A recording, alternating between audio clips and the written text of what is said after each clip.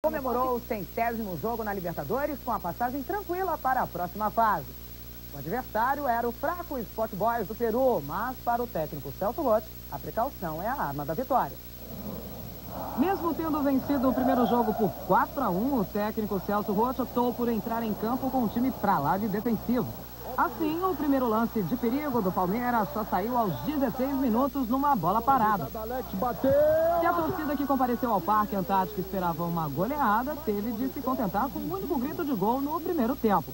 Fábio Júnior finalmente desencantou com a camisa do Verdão. Desvio passou!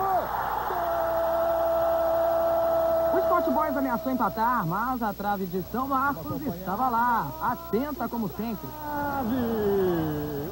Logo depois, Alex teve a chance de fazer o segundo, mas o goleirão Quesada não deixou. do Palmeiras. Aqui ele a intenção. O Palmeiras voltou mais solto para o segundo tempo e as chances de ampliar o marcador começaram a aparecer. Bora!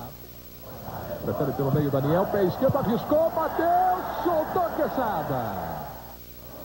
Agora vamos ver o que vai fazer aí, se ele tira o Fábio Júnior. Atendendo aos pedidos da torcida, Roth colocou Lopes no lugar de Basílio. A entrada do meia deu um novo ânimo à partida. E em três minutos o Palmeiras marcou dois gols. A classificação antecipada para a próxima fase da Libertadores estava garantida para a alegria da galera. Vai para cima da marcação na linha de fundo, cruzou, cruzou legal!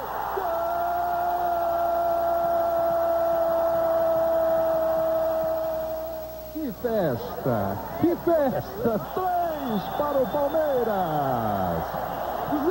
Para o Sport Boys! Eita, Lelê!